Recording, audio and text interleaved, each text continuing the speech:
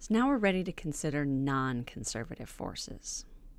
Well, if we're going to talk about non conservative forces, we need to compare them to what we've already learned about conservative forces. So, as a quick reminder here, we were dealing with mechanical energy and we were dealing with work that was done that did not depend on the path. And because of this, it acts to transform between kinetic and potential energy. Some of the examples that we looked at were gravity and spring forces. So, when gravity and spring forces come into play, kinetic energy can be turned into potential energy, but then that potential energy can be re released as kinetic energy. So now we have non conservative forces. So mechanical energy is not conserved. That's what the non conservative part here is. And oftentimes its energy is transformed to other forms of energy. It might be that mechanical energy is going to some other form, or some other form is being transformed into mechanical energy. We could also have energy entering or leaving the system. So, some examples. The most common example of a non conservative force you're going to see in all the textbooks is friction. And very closely related to that is air resistance or fluid resistance.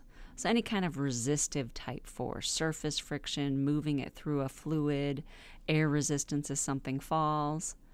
And in both of these cases, what happens is that kinetic energy is transformed into thermal energy. So there's some heating that happens as this resistance happens. You could think about that space shuttle coming in from outer space, and that air resistance causes the, the front part of the, the shuttle to heat up so much it's actually glowing from the heat. And this tends to reduce the mechanical energy of the system. Some other examples motors. So if you've got some sort of motor attached to the system, it's really not a closed system because it uses some sort of outside energy to make that motor work.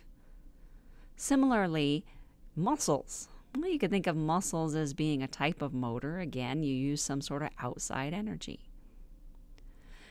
Often in these cases, energy of the system is increased. Your motors or your muscles help get more mechanical energy in. But you could also have a decrease in mechanical energy if you're using those muscles to slow an object down. So let's come back here to one of these main concepts of what's the effect if I have any form of non conservative force in the system.